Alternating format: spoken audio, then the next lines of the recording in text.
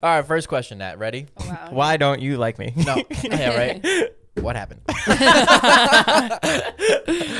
um. So, are you still dating Todd or what? Like, how's that going? I think you know that I am still dating Todd. He took me on a nice little date last night for my birthday. Ooh, where'd you go? Where'd you go? I went to Firefly. It's like my favorite restaurant here in Studio City. Uh huh. Yeah. Nice. How do Firefight. I'll write that down. Firefly. All right. Firefight. I take her to a fire show. this is what you wanted, right? So we were having Natalie on because I'm never like in my element of funniness with her around. I think you know what I mean. What are you talking about? You think I'm funny?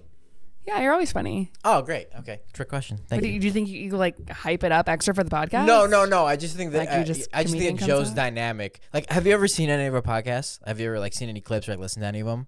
Uh-huh. No, you haven't.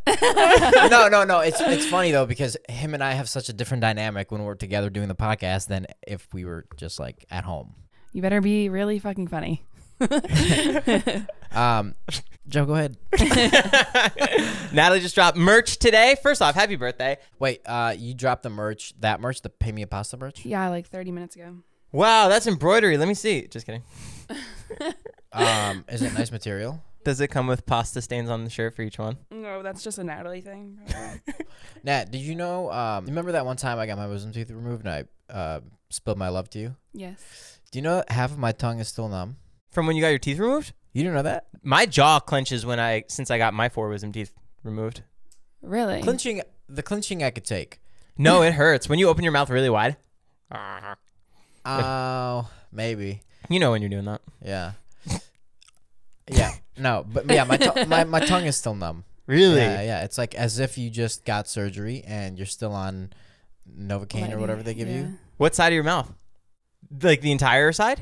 Yeah, I can't feel my ear. My, I'm just kidding. I was like, oh my god. just my, I've just been paralyzed on my right side for two years. Interesting.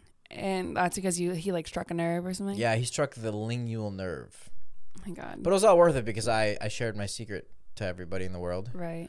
That was a fun time. Yeah, you won what- her, right? What did you What did you think? What did you think You about won that? her, right? I mean, I already knew that you had a crush on me, so it wasn't like that surprising. I think it was surprising for you because for some reason you thought that I didn't know. But like literally, everyone was like, I remember we were at um David's old house, and I don't know, like all of the all of you boys. I think it was for when David got his ten his diamond um, play button for YouTube, and you guys all came out to surprise him, and all the boys came up to me, and Alex and Mike were like, you know, like what about Ilya? Like, what do you think about Ilya? Like, you're My gonna get like. got me. I was like, "What are you talking about? What do you mean?" Shout out hometown friends.